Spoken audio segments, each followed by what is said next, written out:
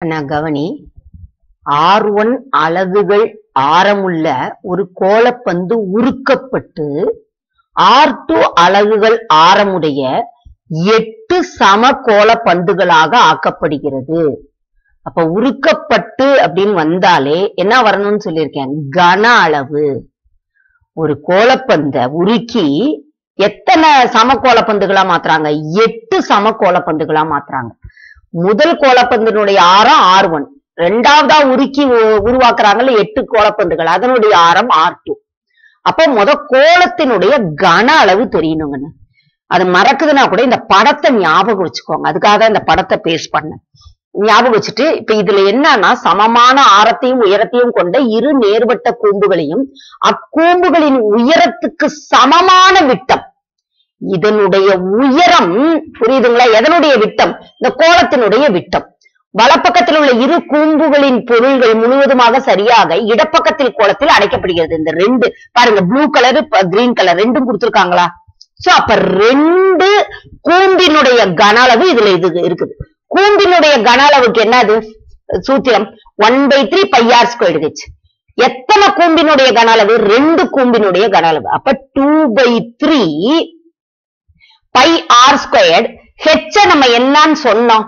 விட்டம்னு சொன்னோம். விட்டம்னா என்னது? ரெண்டு ஆர் இங்க கொடுத்துருக்காங்களா ஹெச் ஈக்குவல் டு டூ ஆர்னு கொடுத்துருக்காங்களா? கொடுக்கலையா? இந்த பாருங்க இங்க கொடுத்துருக்கு.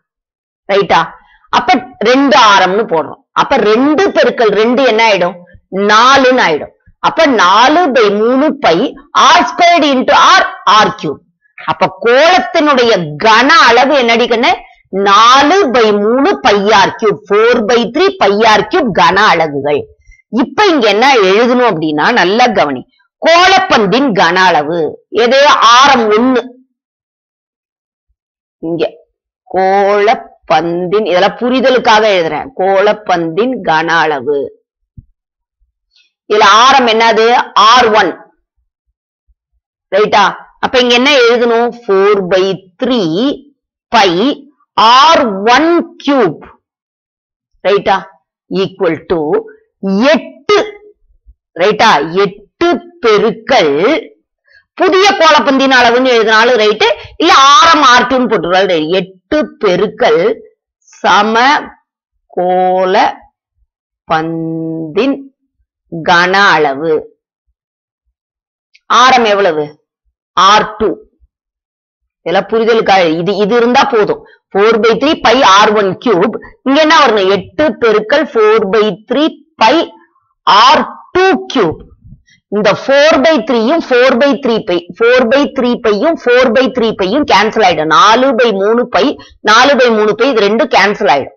புரியுது அடிக்கண்ணு அப்ப நம்ம இங்க என்ன பண்ணலாம் அப்படின்னா இந்த ஒரு இங்க என்ன கேக்குறாங்க? R one is to r two விகிதம் கேக்குறாங்க.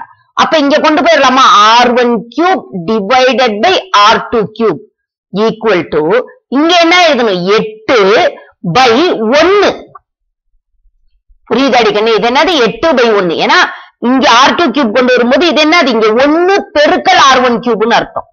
புரியுதுங்களா? அப்ப எட்டு பை ஒன்னு இந்த எட்டை எப்படி எழுதலாம் அப்படின்னா r one cube divided by r two cube equal to ரெண்டு கியூப் டிவைடட் பை ஒன்னு கியூப் ஒன்னு கியூப் ஒண்ணுதான்.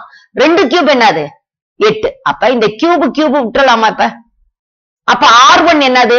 R one is to r two equal to ரெண்டு ஈஸ்ட் ஒன்னு புரியுதா அடிக்கணும் ஆர் ஒன் ரெண்டு ஆர் டூ ஒன்னு அப்ப ஆர் ஒன் ஈஸ்ட் ஆர் டூனா ரெண்டு ஈஸ்ட் ஒன்னு அப்ப எது ஆன்சர் இதுதான் ஆன்சர்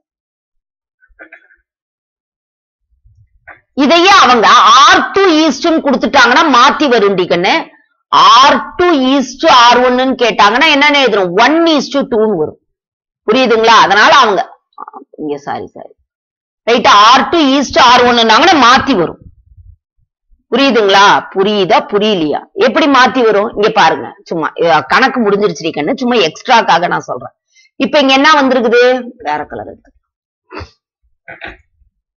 இங்க என்ன வந்திருக்குது? ஆர் ஒன் கியூப் ரைட்டா ஈக்குவல் டு எட்டு இன்ட்டு ஆர் டூ கியூப் இல்லையா?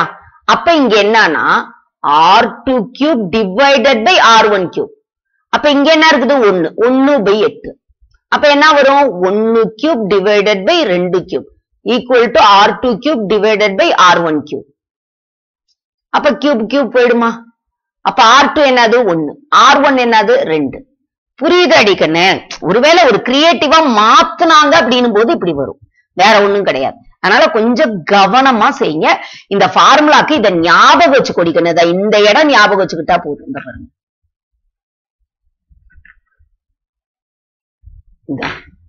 இத ஞாபகம் வச்சுக்கோங்க. ரைட்டா two by three pi r square H H இருக்கிற இடத்துல என்ன வரணும்? டூ ஆர் வரணும். இதை ஞாபகம் வச்சுட்டீங்கன்னா இந்த ஃபார்முலாவை கொண்டு வந்துடலாம். புரியுதுங்களா? இதுவும் அப்படிதான். ரைட்டா இந்த ஹெச் இருக்கிற இடத்துல டூ ஆர் போடணும். அதனாலதான் நான் இந்த ஸ்டெப்பை ஞாபகம் வச்சுக்கோங்கன்னு சொன்னேன். புரியுதா?